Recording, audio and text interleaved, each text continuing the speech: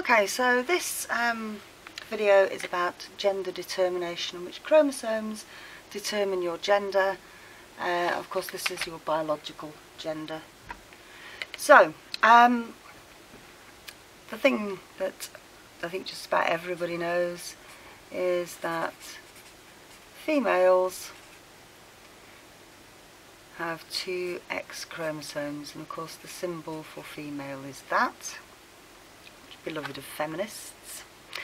And males have an X and a Y chromosome. And that's the symbol for males.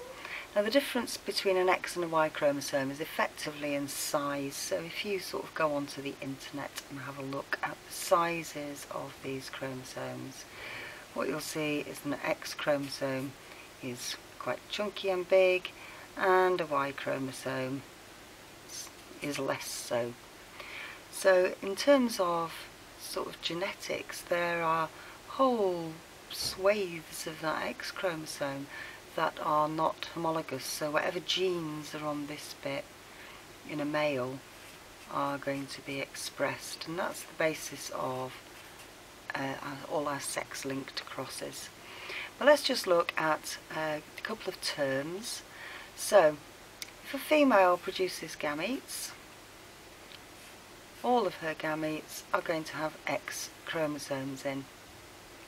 If a male produces gametes, half of his sperm are going to have X chromosomes and half his sperm are going to have Y chromosomes in. So in terms of sex chromosomes, females are producing all the same sort. They're only producing X chromosomes and we call those then, remember homo means the same, the homogametic sex. And males of course are producing two different ones and they're called the heterogametic sex.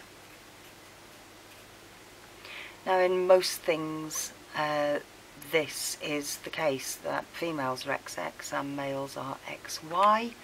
There is um, a couple of exceptions to this and they have turned up occasionally. You don't need to remember them, they will tell you but just watch out for, so this is my sort of, you know, early warning. Look out for moths, look out for birds. And in both of those things the female is XY and the male is XX. That's annoying, isn't it? But as I say, if you're asked about those, they will tell you either which is the homogametic sex or actually give you the, you know, which one's XX. So let's have a look at what happens then in our Punnett square. So, male parent XY, female parent only contributing X chromosomes to give a female and a male. And that means that you've got a 50% chance of having a female child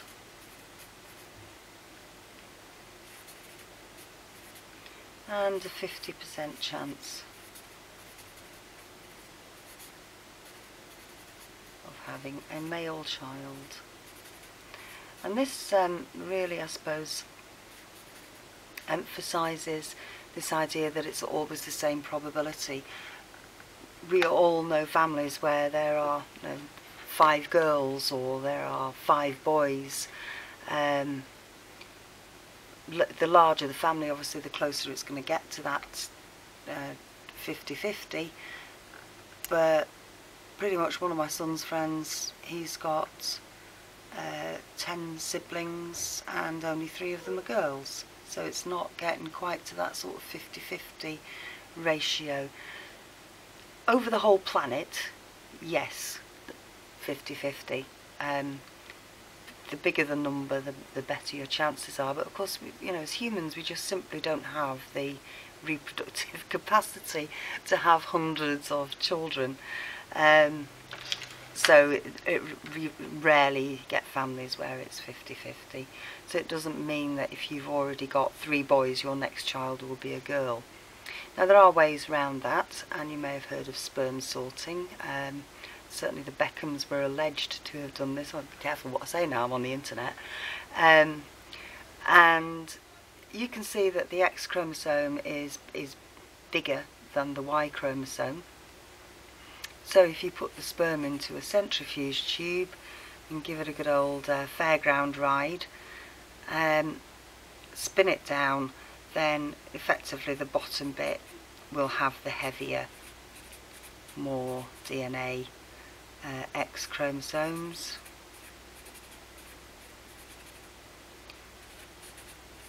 And the top bit, so somewhere up here, you would expect to find your lighter Y chromosomes.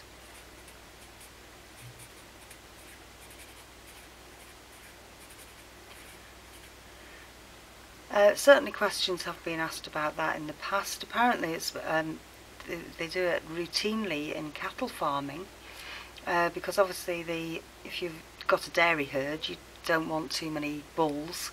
Um, and it is apparently 90% ish successful in uh, ensuring that you've got more female offspring.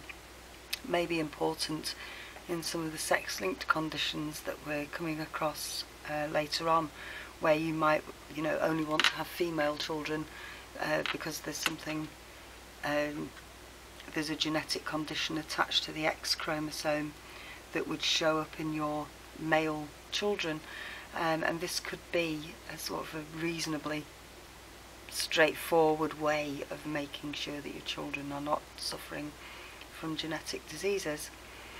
We'll see how common that becomes. But apparently, yes, that is what uh, the Beckhams had done so that they could have Harper after their three boys. So they wanted a little girl, and apparently David Beckham had his sperm sorted. That doesn't mean some nurse is sort of picking through it with her rubber gloves. Quite horrible thought. Anyway. Right, gotta remember I'm on the internet now. Bye.